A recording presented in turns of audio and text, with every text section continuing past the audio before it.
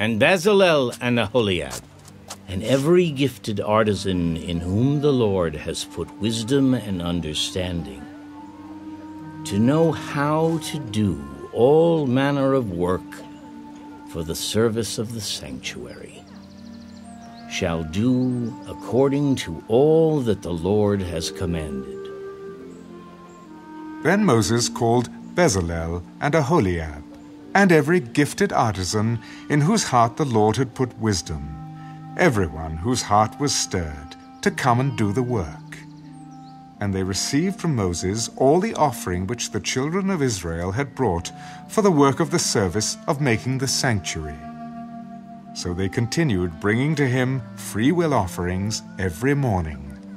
And all the craftsmen who were doing all the work of the sanctuary came, each from the work he was doing, and they spoke to Moses. The people bring much more than enough for the service of the work which the Lord commanded us to do. So Moses gave a commandment, and they caused it to be proclaimed throughout the camp.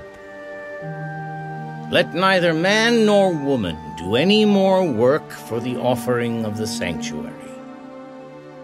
And the people were restrained from bringing, for the material they had was sufficient for all the work to be done. Indeed, too much.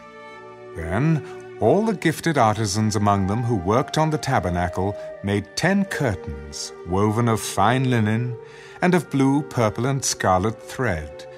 With artistic designs of cherubim they made them. The length of each curtain was twenty eight cubits, and the width of each curtain four cubits. The curtains were all the same size. And he coupled five curtains to one another, and the other five curtains he coupled to one another. He made loops of blue yarn on the edge of the curtain on the selvage of one set. Likewise, he did on the outer edge of the other curtain of the second set. Fifty loops he made on one curtain, and fifty loops he made on the edge of the curtain on the end of the second set. The loops held one curtain to another. And he made fifty clasps of gold, and coupled the curtains to one another with the clasps, that it might be one tabernacle. He made curtains of goat's hair for the tent over the tabernacle. He made eleven curtains. The length of each curtain was thirty cubits, and the width of each curtain four cubits. The eleven curtains were the same size. He coupled five curtains by themselves and six curtains by themselves. And he made fifty loops on the edge of the curtain that is outermost in one set, and fifty loops he made on the edge of the curtain of the second set. He also made fifty bronze clasps to couple the tent together, that it might be one. Then he made a covering for the tent of ram skins dyed red, and a covering of badger skins above that. For the tabernacle, he made boards of acacia wood, standing upright. The length of each board was ten cubits, and the width of each board a cubit and a half. Each board had two tenons for binding one to another. Thus he made for all the boards of the tabernacle. And he made boards for the tabernacle, twenty boards for the south side. Forty sockets of silver he made to go under the twenty boards, two sockets under each of the boards for its two tenons.